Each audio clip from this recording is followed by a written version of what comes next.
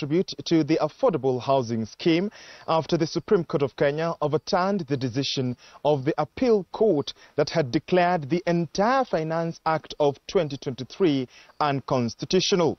The Martha Koome-led seven-judge bench further in its ruling observed that the parliament did adequate public participation in the process.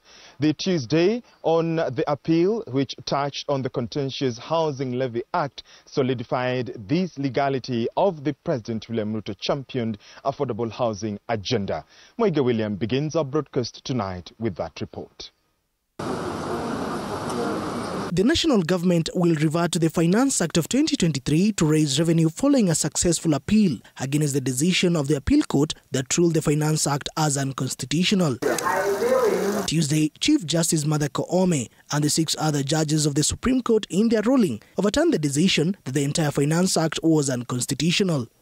The seven judges of the Apex Court ruled on the contentious fate of the Housing Levy Act, ruling that Section 84, Affordable Housing Levy, from the Finance Act 2023 was not relevant in the matter, coinciding with a recent finding of the High Court in a different case that found it to be properly enacted. This ruling means Kenyans will continue to contribute to the Housing Levy Fund. Tuesday's decision by the Supreme Court of Kenya follows an appeal filed by the government, including the Attorney General, the Cabinet Secretary for Treasury, the National Assembly, and the Kenya Revenue Authority against the Court of Appeal's judgment declaring the Finance Act of 2023 unconstitutional. However, it was the finding of the Apex Court that sections 76 and 78 of the Finance Act, which amended the Kenya Roads Act 1999, and section 87, which amended the Unclaimed Financial Assets Act 2011, are unconstitutional because they are not related to a money bill. The Court of Appeal's ruling was based on several procedural and constitutional concerns.